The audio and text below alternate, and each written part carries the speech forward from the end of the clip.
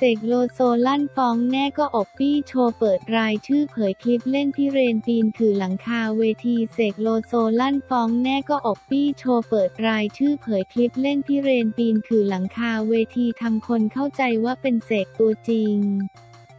ด่าเสกเละเทะวันที่ 9 กุมภาพันธ์ 2566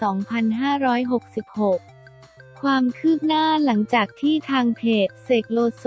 ออกมาเตือนนักแสดงเลียนแบบศิลปิน หรือที่เรียกกันโดยทั่วไปว่า ก็อบปี้โชว์หลายท่านได้แสดงเลียนแบบพี่เสกโลโซด้วยคำพูดไม่สุภาพ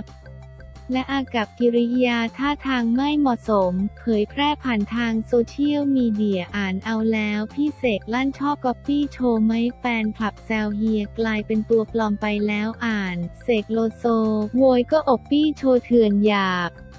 ตรงข้ามนิสัยตัวจริงถ้าไม่หยุดขู่เอาผิดทำให้ประชาชนบางส่วนเข้าใจผิดคิดว่าเป็นเสกโลโซ ตัวจริงเข้ามาแสดงความคิดเห็นล่วงเกิน ต่อว่าด้วยถ้อยคำหยาบคายถือเป็นการกระทำที่ไม่เหมาะสมอย่างยิ่ง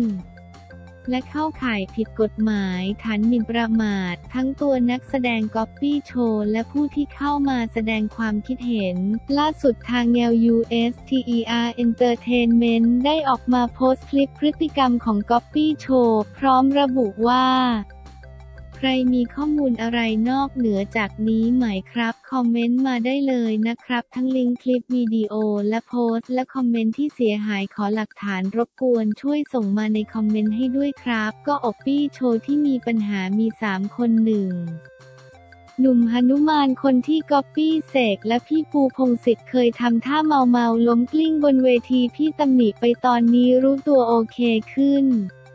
แต่ต้องควบคุมการโชว์ให้ภาพลักษณ์ที่ดีๆ ออกมาบ้างไม่ใช่โชว์ แต่ภาพลักษณ์ที่เป็นลบหมดขนาดเนี่ยทุกคนเลยสองเบียเสกก็อบปี้โชว์คนนี้ที่ชอบทำท่ากวนตีนดูดบุหรี่แล้วพูดไอ้สอสอสอปกติพี่เสกไม่พูดหยาบมันเป็นการล้อเลียนที่เสื่อมเสียเกียรติศิลปินมากไอ้ตัวนี้กำลังคิดอยู่จะฟ้องไหมหรือจะใจดีสาม ไอ้คนนี้ที่มีปัญหาล่าสุดที่ปีนคือหลังคาจากฝั่งหนึ่งไปอีกฝั่งเวทีหนึ่ง แล้วคนเข้าใจว่าเป็นเสกด่าเสกเละเทะฟ้องแน่นอนหลายครั้งแล้วดูคลิป CR แนว USTER Entertainment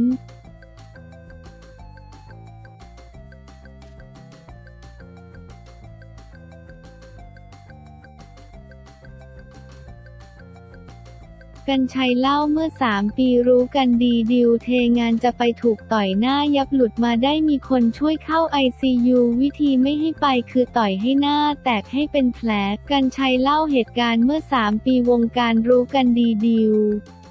เทงานจะไปทำงานไม่ให้ไปถูกต่อยหน้า หลุดมาได้มีคนไปช่วยเข้า ICU จากกรณีดิวอริสราออกมาเปิดเผยภาพครั้งถูกเบนเดมอนทำร้ายร่างกายอาการสาหัส เมื่อ 3 ปี เจ้าตัวร่ำให้เผยบอกใครไม่ได้ด้วยความกลัวในตอนนั้น จนกลายเป็นแผลในใจจนวันนี้กล้าที่จะออกมาเปิดเผยนั้น โดยหนุ่มกัญชัยกล่าวในรายการข่าวใส่ไข่ถึงเรื่องดิวอริสราตอนหนึ่งว่าถ้าย้อนเวลาเมื่อ 3 ปีก่อน วงการบันเทิงจะรู้กันดีคนจะพูดกันหมดดิวเทงาน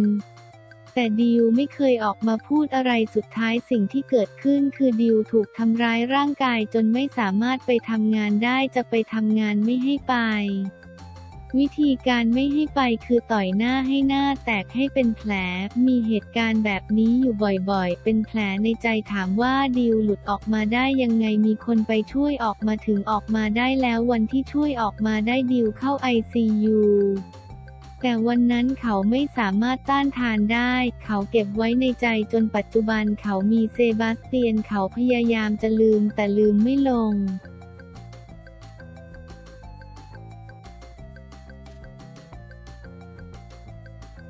ครูไพบูลย์ปิดไลฟ์สดหนีหลังโดนด่ากลางโซเชียลเปิดใจศาลตัดสินจำคุก 8 ปีครูไพบูลย์แสงเดือนปิดไลฟ์สดหนีหลังโดนด่ากลางโซเชียล อยากโดนอีกคดีเหรอ ก่อนจะไลฟ์สดเปิดใจสารจำคุก 8 ปีอีกครั้ง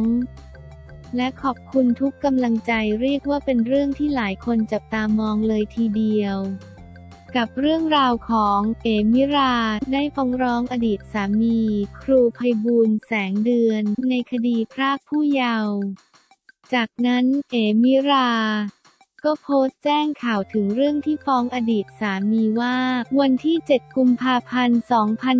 2566 ตัดสินแล้ววันนี้คดีพรากผู้เยาว์สารพิพากษาออกมาแล้วจำคุก 8 ปีชดใช้ค่าเสียหาย 350,000 บาทไม่รอลงอาญา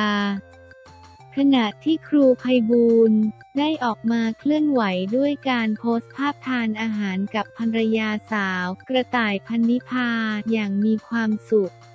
พร้อมข้อความว่า เอาไปซื้อเลขเอาเดอร์พี่น้องงวดนี้ มีแท้แปดเจ้ามืออย่าอันเดอร์คราบแบบและติดแฮชแท็กเครื่องหมายสี่เหลี่ยมใจเย็นใจเย็นเดอร์ครับพี่พี่นักข่าว ล่าสุดครูภัยบูลได้ไลฟ์สดขณะขับรถอยู่ขอบคุณทุกกำลังใจและความห่วงใย หลังศาลตัดสินจำคุก 8 ปีคดีพรากผู้เยาว์แต่ช่วงหนึ่งของการไลฟ์สด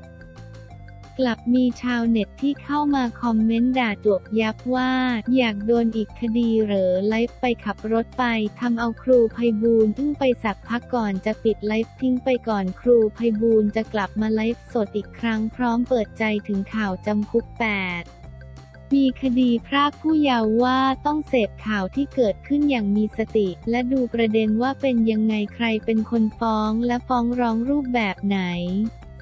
ซึ่งหลังจากนี้ต้องสู้กันไปตามกระบวนการยุติธรรม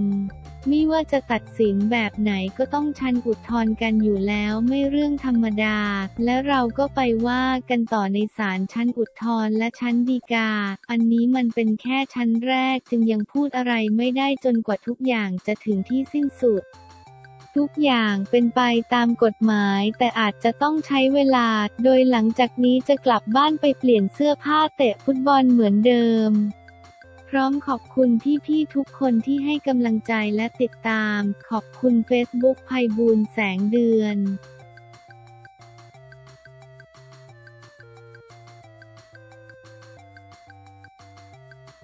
หุย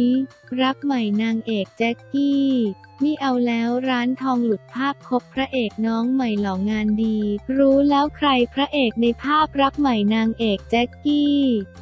นี่เอาแล้วร้านทองเปิดตัวคบพระเอกน้องใหม่หล่องานดี จูเนียร์ กาจบัณฑิต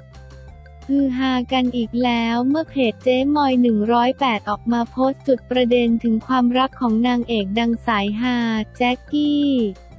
ชาเคอลีนว่านางเอกแม่น้องบองไม่แคร์ลูกชายร้านทองแล้วเด้อล่าสุดชีเจอแชะภาพควงพระเอกใหม่กินชาบูหมาล่าอุ้ย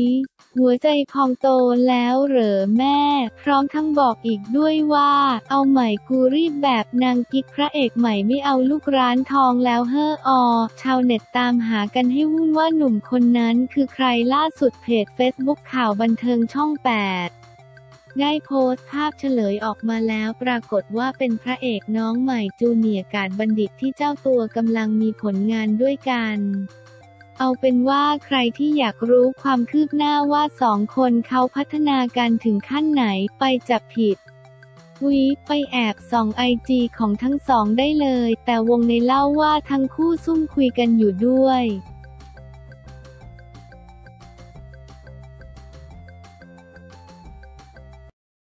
Yeah.